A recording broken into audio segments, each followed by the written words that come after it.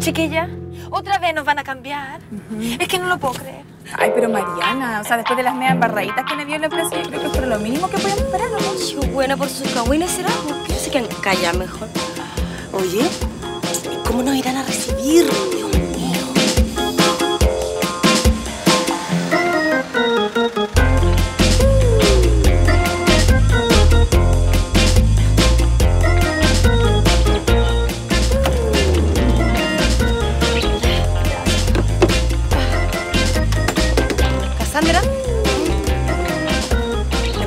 Decir a los niños que, que los voy a echar mucho de menos?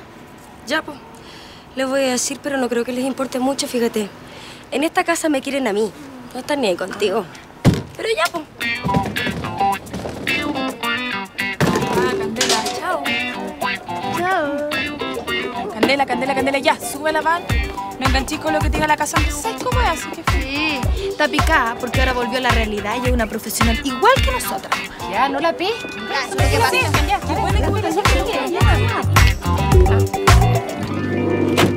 Hola. Señora Monse, ¿cómo está? Hola. ¿Qué tal, don Emilio? ¿Cómo le va, Cassandra? Hola. Ay, Cassandra, pero tú no estabas de supervisora. Sí, lo que pasa es que esa cuestión ya se acabó ya, pues. Lo que pasa es que lo echaba tanto de menos que al final renuncié a esa pega.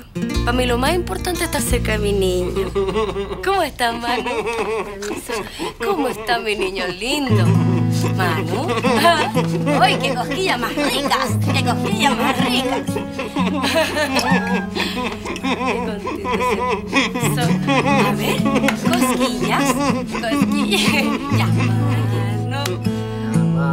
No, a la mano.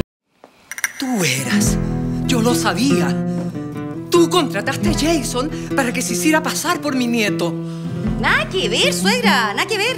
Que no se da cuenta, mira lo que lo que tiene. Digo, estoy mintiendo, es estoy mintiendo, estoy aprovechando. Wichi. Bueno, ¿y ustedes, angelitos míos? De verdad las quiero mucho y las voy a echarle de menos. Los vemos, ¿ah?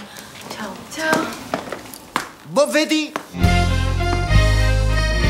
Como diría mi madrina, ¡toma, cachito de goma!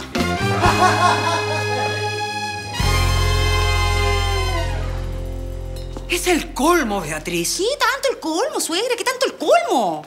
Si más que mal usted también reconozca que lo estaba usando para quitarme mi parte de la empresa. Pero es que esto es demasiado. Mira, hubiera esperado cualquier cosa de ti, pero esto. ¡Ay, qué terrible! Yo soy capaz de esto y de muchas otras cosas más.